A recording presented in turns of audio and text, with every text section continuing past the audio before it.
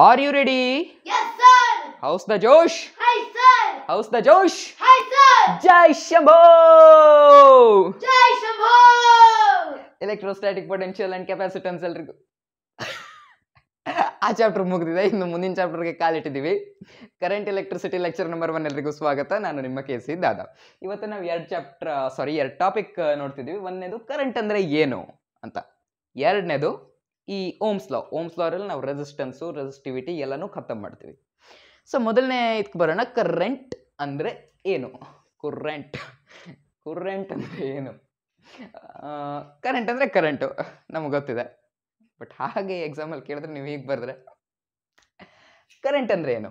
ಈಗ ನೋಡಿ, ನನ್ನ ಹತ್ರ ಒಂದು ಕಂಡಕ್ಟರ್ ಇದೆ, ಒಂದು ವಯರ್ ಇದೆ ಅಂತ ಇಟ್ಕೊಳ್ಳಿ. ಅದನ್ನು ಝೂಮ್ ಮಾಡಿ ಝೂಮ್ ಮಾಡಿ ಝೂಮ್ ಮಾಡಿ ಝೂಮ್ ಮಾಡಿ ಚಿತ್ರ ಬಿಡಿಸಿದೆ. ವಯರ್ನ ಝೂಮ್ ಮಾಡಿದ್ರೆ ನಮ್ಗೆ ಏನು ಸಿಗುತ್ತಪ್ಪ? ಫುಲ್ ಝೂಮ್ ಮಾಡಿದ್ರೆ? ಆಟಮ್ಸ್ ಸಿಗುತ್ತೆ. ಆಟಮ್ಸ್ನಲ್ಲಿ ಏನೇನಿರುತ್ತೆ ಪ್ರೋಟಾನ್ಸ್ ನ್ಯೂಟ್ರಾನ್ಸ್ ಇಲೆಕ್ಟ್ರಾನ್ಸ್ ಇರುತ್ತೆ. ಪ್ರೋಟಾನ್ಗೆ ಪಾಸಿಟಿವ್ ಚಾರ್ಜು ಇಲೆಕ್ಟ್ರಾನ್ಗೆ ನೆಗೆಟಿವ್ ಚಾರ್ಜು ಗೊತ್ತೇ ಇದೆ. ಸೊ ನ್ಯೂಟ್ರಾನ್ಗೆ ಏನು ಚಾರ್ಜ್ ಇಲ್ಲ ಸೊ ಅದನ್ನು ಬಿಡ್ಸೋಕೆ ಹೋಗಿಲ್ಲ. ಪಾಸಿಟಿವ್ ಚಾರ್ಜ್ ಏನೇನು ಬಿಡಿಸಿದನೋ ಅವೆಲ್ಲ ಪ್ರೋಟಾನ್ಸು ನೆಗೆಟಿವ್ ಚಾರ್ಜ್ ಏನೇನು ಬಿಡಿಸಿದನೋ ಅವೆಲ್ಲ ನ್ಯೂಟ್ರಾನ್ಸು ಈಗ ಸಪೋಸ್ ಈ ಕಂಡಕ್ಟರ್ಗೆ ನಾನೊಂದು ಬ್ಯಾಟ್ರಿನ ಕನೆಕ್ಟ್ ಮಾಡಿದೆ ಅಂತ ಇಟ್ಕೊಳ್ಳಿ. ಇದು ಬ್ಯಾಟ್ರಿಯ ಪಾಸಿಟಿವ್ ಟರ್ಮಿನಲ್ ಸೊ ಈ ಟರ್ಮಿನಲ್ ಪಾಸಿಟಿವ್ ಆಯಿತು. ಇಲ್ಲಿರುವಂಥ ಎಲ್ಲ ನೆಗೆಟಿವ್ ಚಾರ್ಜಸ್ ಐ ಮೀನ್ ಎಲ್ಲ ಇಲೆಕ್ಟ್ರಾನ್ಗಳು ಈ ಕಡೆಗೆ ಅಟ್ರಾಕ್ಟ್ ಆದವು ಇಲ್ಲಿರುವಂಥ ಎಲ್ಲ ಪಾಸಿಟಿವ್ ಚಾರ್ಜಸ್ ಅಂದರೆ ಪ್ರೋಟಾನ್ಗಳು ಈ ಕಡೆಗೆ ಅಟ್ರಾಕ್ಟ್ ಆದವು ಹೌದಾ? ಸೊ ಈಗ ಒಂದು ಚಾರ್ಜಸ್ಗಳು ಇಲ್ಲಿಂದ ಆ ಕಡೆ ನೆಗೆಟಿವ್ ಚಾರ್ಜಸ್ಗಳು ಅಲ್ಲಿಂದ ಈ ಕಡೆ ನಮ್ಗೆ ಫ್ಲೋ ಆಯಿತು. ಸೊ ಕರೆಂಟ್ ಅಂದರೆ ಏನು? ಇದೆ current current is rate of flow of charges what is current current is rate of flow of charges ಮುಗಿತು. ಈ ಕರೆಂಟ್ಗೆ ಒಂದು ಫಾರ್ಮುಲಾ ಇದೆ. Rate of flow of charges ಅಲ್ವಾ? ಕರೆಂಟನ್ನು ಐನಿಂದ ಸೂಚಿಸ್ತಾರೆ.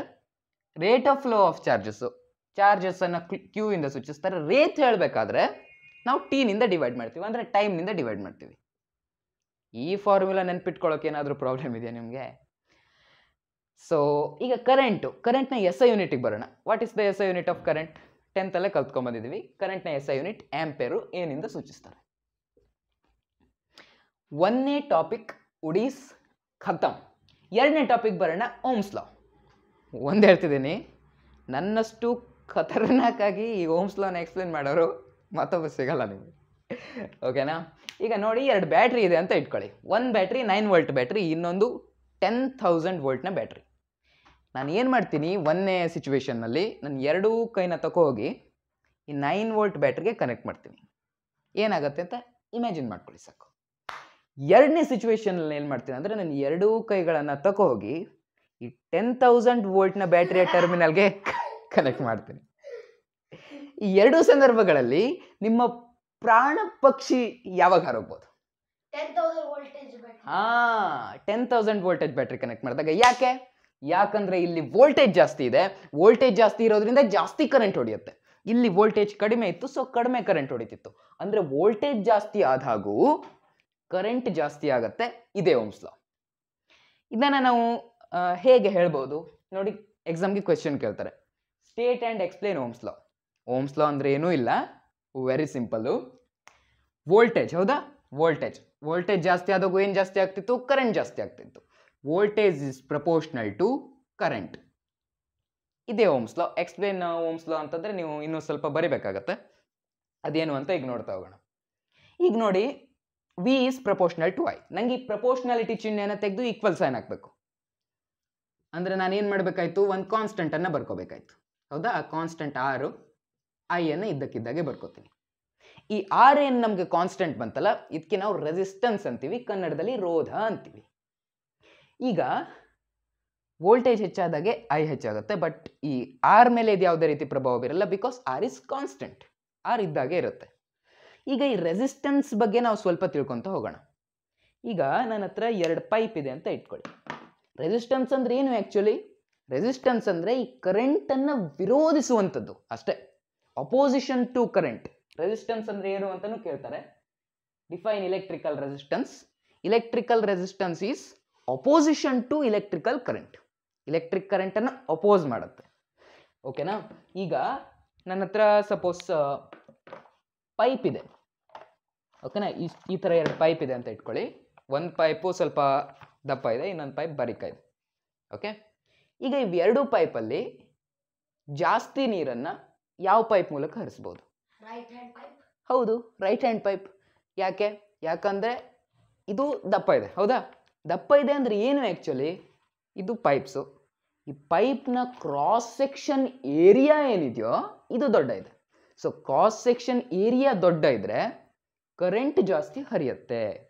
ಕ್ರಾಸ್ ಸೆಕ್ಷನ್ ಏರಿಯಾ ದೊಡ್ಡ ಇದ್ರೆ ಕರೆಂಟ್ ಜಾಸ್ತಿ ಹರಿಯುತ್ತೆ.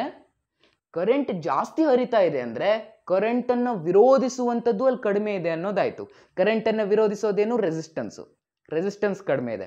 ಈ ಏರಿಯಾ ಜಾಸ್ತಿ ಆದಾಗೂ ರೆಸಿಸ್ಟೆನ್ಸ್ ಕಡಿಮೆ ಆಗತ್ತೆ. ಒಂದನೇ ಪಾಯಿಂಟ್ ಎರಡನೇ ಪಾಯಿಂಟು ಈ ರೆಸಿಸ್ಟೆನ್ಸ್ನ ಗುಣ ಸ್ವಲ್ಪ ನೋಡೋಣ.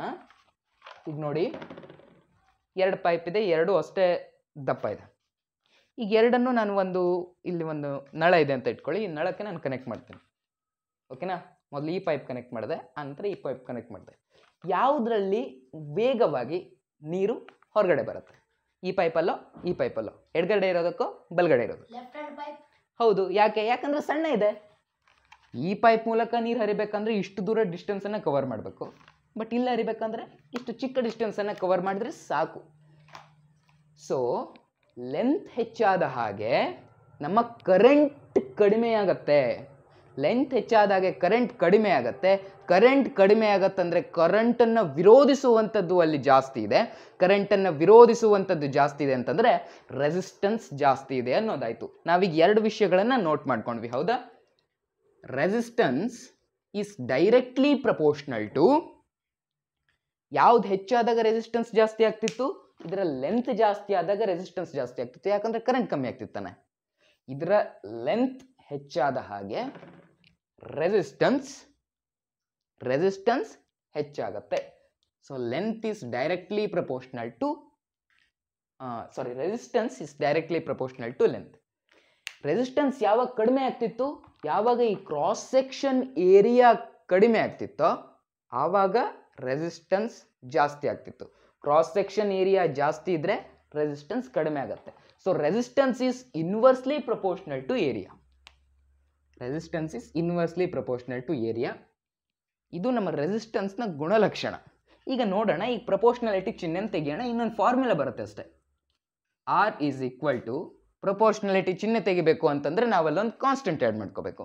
ಕಾನ್ಸ್ಟೆಂಟ್ ಏನು? ಕಾನ್ಸ್ಟೆಂಟ್ ರೋ ಉಳಿದದನ್ನೇ ಇದ್ದಕ್ಕಿದ್ದಾಗೆ ಬರೆಯೋಣ. ಎಲ್ ಬೈ ಎ ಈಗ ಈ ರೋ ಏನಿದೆಯೋ ಇದಕ್ಕೆ ನಾವು ರೆಸಿಸ್ಟಿವಿಟಿ ಅಂತೀವಿ. ಕನ್ನಡದಲ್ಲಿ ರೋದ ಶೀಲತೆ ಅಂತೀವಿ ಸೊ ರೆಸಿಸ್ಟೆನ್ಸ್ ಯಾವಾಗ ಇನ್ಕ್ರೀಸ್ ಆಗುತ್ತೆ? ರೆಸಿಸ್ಟೆನ್ಸ್ನ ಇನ್ಕ್ರೀಸ್ ಮಾಡ್ಬೇಕಂದ್ರೆ ಏನು ಮಾಡಬೇಕು? ವಯರ್ನ ಲೆಂತನ್ನು ಇನ್ಕ್ರೀಸ್ ಮಾಡಬೇಕು. ರೆಸಿಸ್ಟೆನ್ಸನ್ನು ಕಡಿಮೆ ಮಾಡಬೇಕು ಅಂದರೆ ಏನು ಮಾಡಬೇಕು? ವಯರ್ನ ಕ್ರಾಸ್ ಸೆಕ್ಷನ್ ಏರಿಯಾ ಅಂದರೆ ದಪ್ಪ ವಯರ್ನ ಚೂಸ್ ಮಾಡ್ಕೋಬೇಕು. ಅಷ್ಟೆ. ಈಗ ಈ topic ohm's law ohm's law almost ಮುಗಿಸೇ ಬಿಟ್ಟಿದ್ದೀನಿ ಸೊ ಈಗ ಕ್ವೆಶನ್ ನೋಡೋಣ. ಇಷ್ಟೇ ಕ್ವೆಶನನ್ನು ಎಕ್ಸಾಮ್ಗೆ ಕೇಳ್ತಾರೆ. ಮೋಸ್ಟ್ ಪ್ರೊಬಬ್ಲಿ ಈ ಕ್ವೆಶನ್ನೇ ಎಕ್ಸಾಮಿಗೆ ಬರೋದು. So state and explain ohm's law ohm's ಲಾಗೆ statement ಬರೀಬೇಕು. ಓಮ್ಸ್ ಲಾಗ್ ಏನು ಸ್ಟೇಟ್ಮೆಂಟ್ ಅಪ್ಪ? Voltage or potential difference is directly proportional to current explanation ಬರೀಬೇಕು ಅಂತಂದರೆ V is directly proportional to I ಬರೀರಿ. ಆದ್ದರಿಂದ V is equal to R I where R is resistance ಸಾಕು. Next ನೋಡೋಣ. Define electrical resistance what is its S I unit S I unit ಹೇಳೋದು ಮರ್ತೋಗಿದೆ ತಾನೆ. ನೋಡೋಣ. Define electrical resistance what is electrical resistance electrical resistance is opposition to electrical current ಆದರೆ S I unit ohm already ಇದನ್ನು ನಾವು ಟೆಂತಲ್ಲೇ ಕಲ್ತ್ಕೊಂಡಿದ್ವಿ. Ohm ಅನ್ನು ಬರೆಯೋದು ಹೇಗೆ ಬರಿತಿದ್ವಿ? ಹೀಗೊಂದು ಸಿಂಬಲ್ ಇತ್ತಲ್ವಾ? ಇದು ರೆಸಿಸ್ಟೆನ್ಸ್ನ S I unit ರೆಸಿಸ್ಟೆನ್ಸ್ನ S I unit is ohm next ನೋಡಿ. Mention the factors on which the resistance of a conductor depends resistance ಯಾವ್ಯಾವ್ದ್ರ ಮೇಲೆ ಡಿಪೆಂಡ್ ಆಗುತ್ತೆ? ರೆಸಿಸ್ಟೆನ್ಸ್ ಯಾವ್ಯಾವ್ದ್ರ ಮೇಲೆ ಡಿಪೆಂಡ್ ಆಗುತ್ತೆ? ಆ ಕಂಡಕ್ಟಿಂಗ್ ವೈರ್ನ ಲೆಂತು ಮತ್ತು ಆ ಕಂಡಕ್ಟರ್ನ cross sectional area okay mention the limitation of ohm's law ಇದೊಂದು ವೆರಿ ಇಂಪಾರ್ಟೆಂಟ್ ಕ್ವೆಶನ್ ಎಕ್ಸಾಮ್ ದೃಷ್ಟಿಯಿಂದ ಬಹಳ ಬಹಳ ಬಹಳ ಸಲ ಕೇಳಿದ್ದಾರೆ. ಲಿಮಿಟೇಷನ್ಸ್ ಆಫ್ ಓಮ್ಸ್ ಲಾ ಅಂದರೆ ಓಮ್ಸ್ ಲಾನ ಒಂದು ನ್ಯೂನ್ಯ ನ್ಯೂನ್ಯತೆ ಅಲ್ಲ. ಅದರ ಒಂದು ಲಿಮಿಟ್ಸ್ ಏನು ಅಂತ ಕೇಳ್ತಾ ಇದ್ದಾರೆ. ಈಗ ನೀವು ಈ ಕಂಡಕ್ಟರ್ಸು ಕಬ್ಬಣ, ತಾಮ್ರ, ಬೆಳ್ಳಿ ಎಲ್ಲ ತಗೊಂಡು ಈ ಓಮ್ಸ್ ಲಾನ ಅಪ್ಲೈ ಮಾಡಿದ್ರೆ ಓಮ್ಸ್ ಲಾ ಕರೆಕ್ಟಾಗಿ ಅಪ್ಲೈ ಆಗತ್ತೆ. ಬಟ್ ಈ ಓ ಈ ಕಂಡಕ್ಟರ್ಸ್ನ ಬದಲಿಗೆ ಏನಾದರೂ ನೀವು ಸೆಮಿ ಕಂಡಕ್ಟರ್ಸ್ನ ಯೂಸ್ ಮಾಡಿದ್ರಪ್ಪ, ಆವಾಗ ಈ ಓಮ್ಸ್ ಲಾ ಅಪ್ಲಿಕೇಬಲ್ ಆಗಲ್ಲ. ಸೆಮಿ ಕಂಡಕ್ಟರ್ಸ್ನಲ್ಲಿ ನೀವು ವೋಲ್ಟೇಜ್ ಹೆಚ್ಚು ಮಾಡಿದಾಗ ಕರೆಂಟ್ ಹೆಚ್ಚಾಗುತ್ತೆ ಅನ್ನೋ ಗ್ಯಾರಂಟಿ ಇಲ್ಲ ಕರೆಂಟ್ ಡಿಕ್ರೀಸ್ ಆಗುತ್ತೆ. ವೋಲ್ಟೇಜ್ ಹೆಚ್ಚು ಮಾಡಿದಾಗ ಕರೆಂಟ್ ಡಿಕ್ರೀಸ್ ಆಗುತ್ತೆ, ಯಾವುದರಲ್ಲಿ? ಸೆಮಿ ಕಂಡಕ್ಟರ್ಸಲ್ಲಿ ಸೊ ಈ ಸೆಮಿ ಕಂಡಕ್ಟರ್ಸ್ಗಳನ್ನು ನಾವು ನಾನ್ ಓಮಿಕ್ ಡಿವೈಸ್ ಅಂತ ಕರಿತೀವಿ. ನಾನ್ ಓಮಿಕ್ ಡಿವೈಸ್ ಅಂತಂದರೆ ಅದು ಓಮ್ಸ್ ಲಾನ ಫಾಲೋ ಮಾಡಲ್ಲ, ಅಥವಾ ಓಮ್ಸ್ ಲಾನ ಒಬೆ ಮಾಡಲ್ಲ. ಆ ಕ್ವೆಶನ್ನು ಇಲ್ಲಿದೆ. Okay limitations of ohm's law ಈಗ ಈ ತಾಮ್ರದ ತಂತಿಲಿ ಓಮ್ಸ್ ಲಾ ಅಪ್ಲೈ ಆಗುತ್ತೆ ಅಂತ ನಾನೇನೋ ಹೇಳಿದ್ದೆ. ಬಟ್ ಬಹಳ ಕಡಿಮೆ ಟೆಂಪ್ರೇಚರ್ನಲ್ಲಿ ಅಥವಾ ಬಹಳ ಎಕ್ಸ್ಟ್ರೀಮ್ ಹೈ ಇರುವಂಥ ಟೆಂಪ್ರೇಚರ್ನಲ್ಲಿ ಈ ಓಮ್ಸ್ ಲಾ ಅಪ್ಲಿಕೇಬಲ್ ಆಗಲ್ಲ. ಇಷ್ಟೇ ಓಮ್ಸ್ ಲಾನ ಲಿಮಿಟೇಷನ್ಸ್ ನೆಕ್ಸ್ಟ್ ಹೋಗೋಣ. What are the ohmic and non ohmic devices ohm ohmic device ಅಂತಂದರೆ ಓಮ್ಸ್ ಲಾ ಅನ್ನು ಫಾಲೋ ಮಾಡುವಂಥ ಡಿವೈಸ್ಗಳು ನಾನ್ ಓಮಿಕ್ ಡಿವೈಸ್ ಅಂತಂದರೆ devices which do not follow ohm's law ಈಗ ಓಮ್ಸ್ ಲಾ ಓಮಿಕ್ ಡಿವೈಸಸ್ಗೆ ಎಕ್ಸಾಂಪಲ್ ಕೇಳ್ತಾರೆ. ಓಮಿಕ್ ಡಿವೈಸಸ್ಗೆ ಎಕ್ಸಾಂಪಲ್ ಯಾವುದು? ಕಾಪರು ಕಬ್ಬಿಣ, ಅದು ಇದು ಎಲ್ಲ ಬರಿಬೋದು. ನಾನ್ ಓಮಿಕ್ ಡಿವೈಸ್ಗೆ ಎಕ್ಸಾಂಪಲ್ಲು ಸೆಮಿ ಕಂಡಕ್ಟರ್ಸ್ ಸಿಂಪಲ್ ಇದೆ.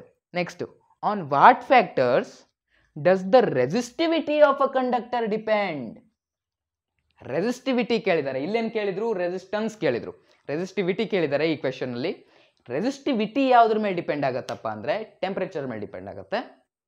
ಆ್ಯಂಡ್ ಆ ಮಟೀರಿಯಲ್ನ ಕ್ವಾಲಿಟಿ ಮೇಲೆ ಡಿಪೆಂಡ್ ಆಗುತ್ತೆ. ರೆಸಿಸ್ಟೆನ್ಸ್ ಯಾವುದ್ರ ಮೇಲೆ ಡಿಪೆಂಡ್ ಆಗುತ್ತೆ? ರೆಸಿಸ್ಟೆನ್ಸು ಲೆಂತು ಮತ್ತು ಕ್ರಾಸ್ ಸೆಕ್ಷನ್ ಏರಿಯಾ ಮೇಲೆ ಡಿಪೆಂಡ್ ಆಗುತ್ತೆ. ರೆಸಿಸ್ಟಿವಿಟಿ ಯಾವುದ್ರ ಮೇಲೆ ಡಿಪೆಂಡ್ ಆಗುತ್ತೆ? ರೆಸಿಸ್ಟಿವಿಟಿ ಟೆಂಪ್ರೇಚರು ಮತ್ತು ಆ ಮಟೀರಿಯಲ್ನ ನೇಚರ್ ಮೇಲೆ ಡಿಪೆಂಡ್ ಆಗುತ್ತೆ. So current electricity lecture number one ಖತಮ್ next ಅಂದರೆ ನಾಳೆ ನಾಳೆ ಸಿಗೋಣ.